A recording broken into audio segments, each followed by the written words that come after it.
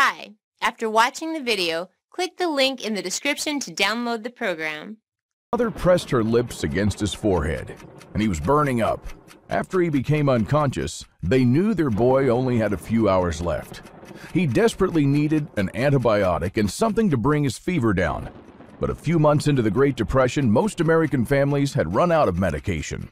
So his father rushed into the backyard desperately looking for a special kind of plant, one that has been used for generations long before penicillin was invented.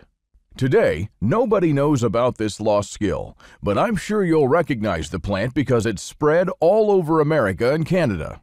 If tomorrow all the pharmacies ran dry and you didn't have any other way to fight an infection, knowing this one plant would be a godsend, and I'll tell you more about it in just a moment. But first, let me tell you why I'm even talking to you here today. That little boy was my father. If my grandfather hadn't known about this special plant, the infection would have surely claimed his son's life that very night. He made a tea from the plant. Then he cut the inner bark of a willow tree and made an infusion out of it. If you ever get a high fever, inflammation, or any kind of pain, just try it. It acts like a very powerful aspirin with enhanced pain killing effects. In fact, the most important ingredient in aspirin is called salicylic acid and it comes from the Latin word for willow tree or salix. Now, you wouldn't think it, but our forefathers knew that you can also use it to preserve your canned goods from toxic bacteria. In just 30 minutes, my grandfather's combined remedies brought the hellish fever down to 100, and in one short week, the infection was gone. His healing wisdom saved not only my father's life, but countless others as well over the next few decades. And today I'm going to share with you this lost knowledge of medicinal plants and remedies. I'm talking about common plants that can replace modern antibiotics like backyard weeds that can numb your pain just like morphine, and plants that can stop your bleeding in just minutes, even plants that work better than most modern drugs to reverse joint damage and arthritis, lower your cholesterol, stabilize your blood sugar levels, and even prevent cancer from developing in your body. Now, most importantly, these plants will keep you healthy during the worst of times. When the next deadly crisis hits America, you can be sure that life-saving meds will be the first to vanish off the shelves. Your only hope is to treat yourself without them, so your backyard plants and common weeds can become your own medicine cabinet, and most of them are also edible and will keep you and your loved ones well fed, while other people will be cooking their leather shoes and belts. And let me tell you, when you haven't eaten for days and your immune system is at its weakest, it doesn't take much to put you in an early grave. That's exactly what happened to most families during the Great Depression, when it wasn't food shortages that claimed the most lives like you might expect, it was disease. People would wither and die from common colds and infections in their own homes, and many were discovered like that by their neighbors with food supplies intact. What you're about to hear is a true American story stretching over 100 years and three generations of my family. It's something I've given a lot of thought to about sharing or not, as what I'm about to reveal is deeply personal. And I'm only doing it because this information will end up saving many American lives and it could save yours as well. As a young boy, my grandfather came to America alone at the turn of the century with nothing but the clothes on his back. But when he left this world, more than 5,000 people from all over the world came to his funeral. Our small town of Springfield didn't have enough hotels to accommodate them, so everybody offered a place to stay. And while I didn't know most of them, they all knew my grandfather. And believe it or not, you know my grandfather too. You know him because you know his generation, the greatest generation. If you knew one of them, you knew all of them. It was a generation shaped by hardships and turmoil that others after them would never face again. It was a generation that had to mature fast in order to survive the Great Depression and then fight in World War II. They were willing to serve and sacrifice for the greater good. Growing up on his ranch, he would sit me down on his lap and tell me about the hard times he faced when he was my age. My grandfather became an orphan when he was just seven years old. He was saved by a Native American woman. Iana found him thin as a rake eating pokeweed fruits in the woods, which are poisonous if you don't know how to cook them. My grandfather stayed in a coma for a few weeks while the medicine man was treating him. Some healing plants and a healthy dose of activated charcoal brought him back from the brink of death. Iana soon took a liking to him, and because he had no relatives left alive, she decided to raise him as her own. And my grandfather recalled this time of growing up so close to nature and enjoying the happiness of a simple life as one of the best times in his life. He would go out with Iana everywhere, and most of the time they'd forage for edible and medicinal plants in the woods. One of Iana's duties was to find these plants and bring them to the medicine man. My grandfather could soon name and recognize more than 100 plants, then 200. And before his 18th birthday, he knew around 500 edible and medicinal plants. He knew where to find them, when to harvest them, and how to turn them into powerful remedies just like his adoptive mother. By the beginning of World War II, his remedies were so famous that desperate people from other states came to seek him out. Now, my grandfather was a pacifist, but he was also a patriot. He enlisted in the Army not to kill, but to save as many lives as possible. If you'd been on the muddy battlefield of Pétain, you'd have seen 600 brave American soldiers carrying their backpacks and one who was carrying two. That was my grandfather, who brought his remedies with him. They converted a deserted French church into a makeshift hospital and by nightfall it was all full of hundreds of wounded young Americans. When the surgeons ran out of morphine, it was my grandfather who gave them relief. He had with him a powerful pain killing extract made from this plant.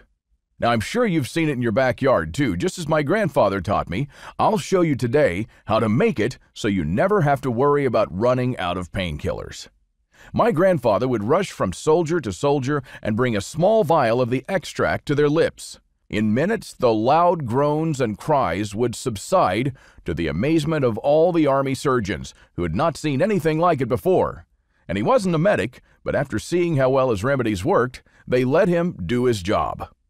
With mortar shells and shrapnel flying all around him, he'd plunge himself into the midst of battle and pull men to safety, stop their bleeding, disinfect their wounds, and ease their pain and by the end of the war, every man in the 8th Infantry Division knew him as Dr. Davis, and since then, that's what people called him.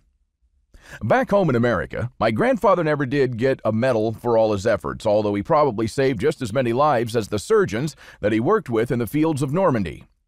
In the 60s, people from all over the country came seeking my grandfather. Our small farm was filled with the sick from dusk to dawn, and his supply of herbs was barely able to keep up.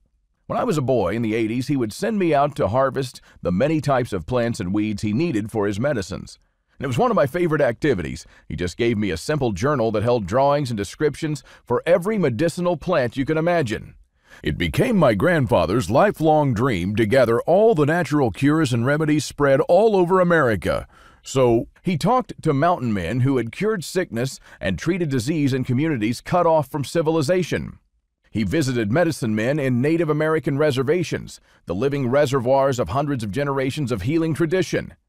And every now and then, he traveled to the most remote corners of America, reaching as far away as the Alaskan tundra. His plant journal he gave me as a child grew larger and larger, and he began calling it the Lost Book of Old Remedies. At his funeral, an old woman, Mary, told me how she had met my grandfather many years before he was passing through her small town looking for a plant and heard that a nine year old girl was very sick. She had tuberculosis, a disease that almost surely killed you back then. Mary was dying in her mother's arms. I just try to imagine the feeling of helplessness and despair. Unfortunately, this is not a page closed in history. During many crises that came across time, say for example Katrina, antibiotics were the first to go off the shelves and decent people like you and me died from common diseases that could have easily been treated with common plants. Anyway, at that time, an antibiotic for tuberculosis hadn't yet been invented, so my grandfather first used this plant. Few Americans know about this graceful weed, and fewer still grow it in their backyard. When the organism is in high stress mode from fighting an infection, this is exactly what you need to bring it to balance and speed up the healing process. Now, the second plant my grandfather used was spotted loco weed, which he always prescribed for shortness of breath and pulmonary infections. After making a concoction out of the two plants, Mary was cured in a few months, which is amazing because nowadays it takes at least six months to treat it using powerful antibiotics. She enjoyed a life that came so close to ending prematurely. I never knew her story until she told me, and as I looked around at the thousands gathered there, I realized my grandfather must have had many other stories and that a lot of people were only there thanks to his remedies. Was he able to save everyone no matter how advanced or hard to treat the disease? Of course not. If someone claims that they can treat your cancer with a miracle cure, you can bet that they're crooks trying to take advantage of you. My grandfather was not like that. He genuinely cared about all of his patients and was honest with them from the beginning. He didn't have miracle cures, but real cures. And I'm sure your grandmother had some as well. Maybe not as many as my grandfather, who was a professional healer, did, but she must have had a few time tested remedies of her own. And when you got sick as a child, they worked just as well, if not better, than drugs. That's the kind of precious knowledge my grandfather tried to save and use for the common good all his life. And let me tell you, my grandfather's funeral was an eye opening moment for me. The times I spent with him on his ranch in Texas were some of the happiest in my life.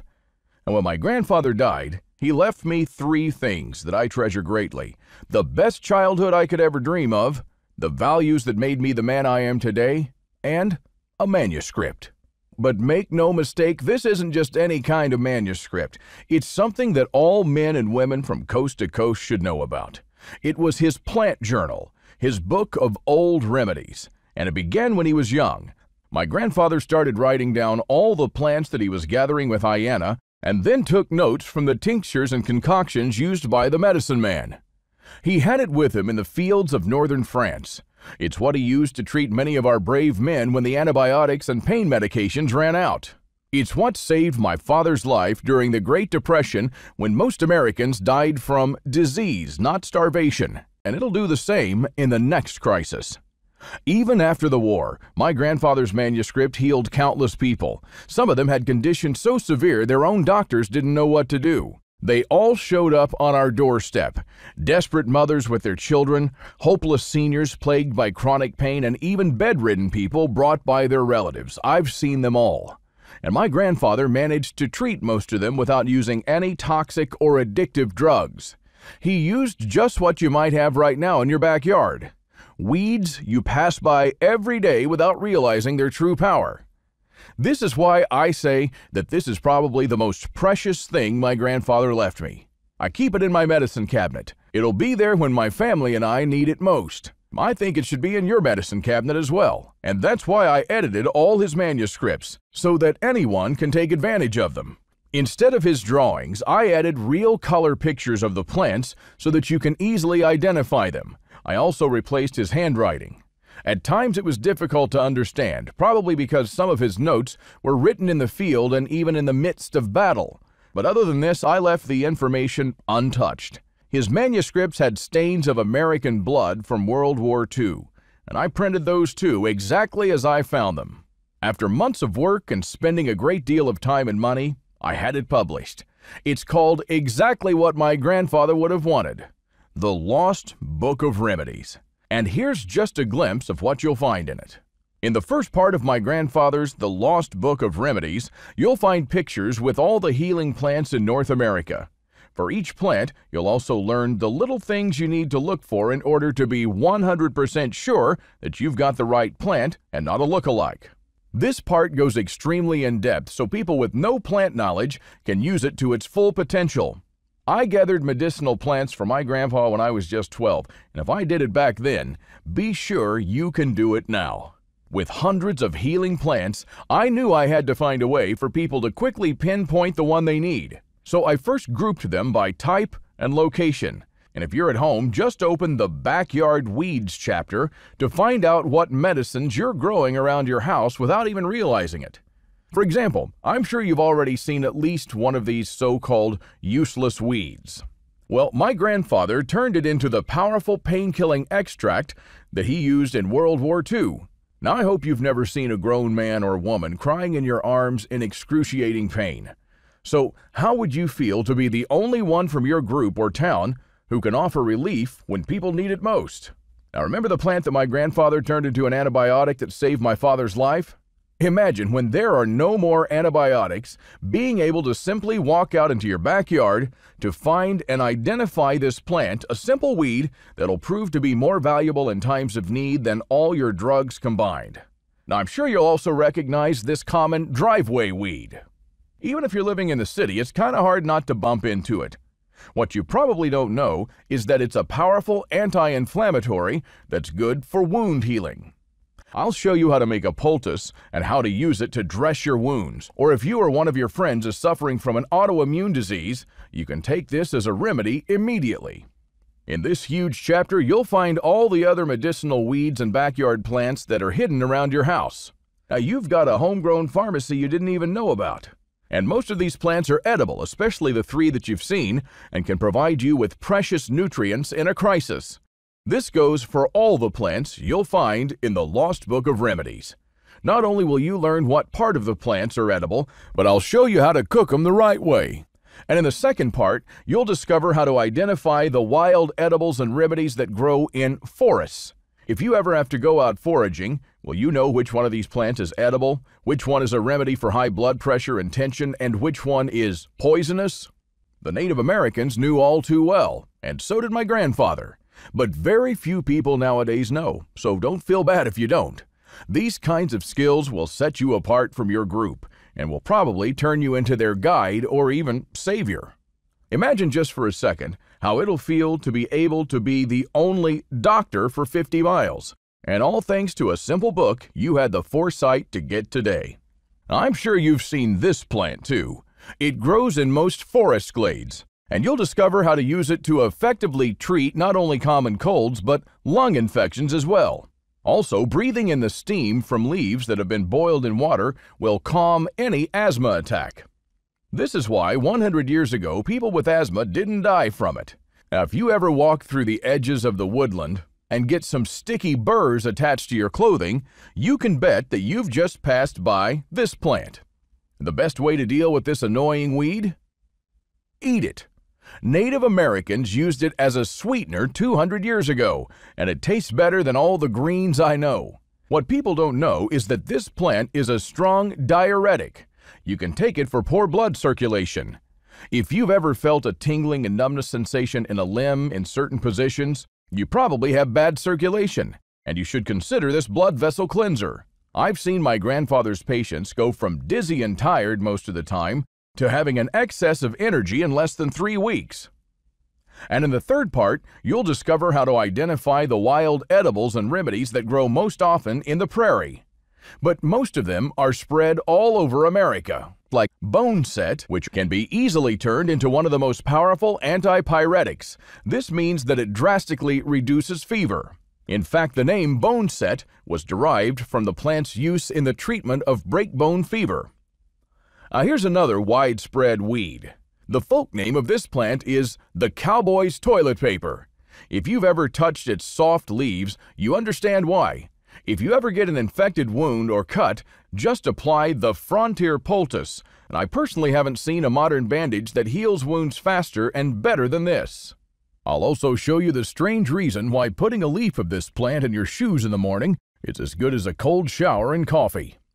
A similar weed called woolly lamb's ear can be added to the frontier poultice to stop bleeding in a matter of seconds. This plant is high in vitamin K, the vitamin that coagulates the blood. It's the powdered vitamin that was given to soldiers in World War II to pour over the wound in case they were shot. My grandfather used it when the bandages ran out and his brothers in arms were bleeding to death. Now, I hope you never find yourself looking down at a wound that just won't stop bleeding, but if you do, be sure the Frontier Poultice is your best shot, other than being in the ICU. And if you or a loved one has diabetes or problems with coagulation or wound healing, make sure that you have this healing cataplasm around your house without delay. No matter where you live in America, there's a source of water nearby, and when there's water, there are cattails. If you find cattails, you'll have everything you need for survival water, food, shelter, and fuel. Now, you probably already know cattails are edible, but I doubt you know how tasty they are. I'll show you how I cook them in the field and at home, and how to turn them into flour. But probably the most important and least known thing about the cattails is the jelly-like substance that grows between its leaves. My grandfather prescribed it for most severe skin infections, and let me tell you, it's nothing short of a miracle. I've seen abscesses the size of a small plate healed in just days. And this gel is also one of the best cures for nail and foot fungus. Now, on a different note, this gel is the only part of the cattail that is widely considered to be inedible. It's not poisonous, so why? Well, because it has a powerful numbing effect on moist tissues and has been used as a Novocaine substitute. Yes, it's an anesthetic that you can use in many, many situations. When the pioneers were hit with a ravaging toothache, they'd just go get their jar of cattail ooze and rub it around their gums, and the pain would subside in minutes. Another part of the Lost Book of Remedies comprises all the medicinal and edible trees in North America. One of the things you'll find here is the ultimate survival tree that grows on almost every street in the U.S. I call it that because you can use the sap as medicine, its flowers as sleeping pills, its leaves as food, and the inner bark as cordage. Now, you don't need much more than this to stay alive, but only a handful of people still know this lost skill. So if you're an old timer like my grandfather, get ready to use this intelligence for its full potential. Do you recognize this tree? You might have even scraped yourself on one of its thorns as a child. The Native Americans cooked its honey-sweet pods and ate them. The sharp young spines were used as pins, nails, spear points, and animal traps during the Civil War, when the South suffered many shortages. According to a recent medical study at Michigan State University, the flowers of this tree strongly prevent spreading of prostate, breast, colon, and lung tumors. You'll find all these things in the Lost Book of Remedies. Really, there's too much to say here. There are hundreds of plants you'll find in my grandfather's book, and you'll learn how to turn them into powerful cures. Medicines had all originated from plants until companies started making synthetic versions. This forgotten wisdom should be brought back to life, and today is your chance to play a role in doing that by putting the Lost Book of Remedies. Hi, after watching the video, Click the link in the description to download the program.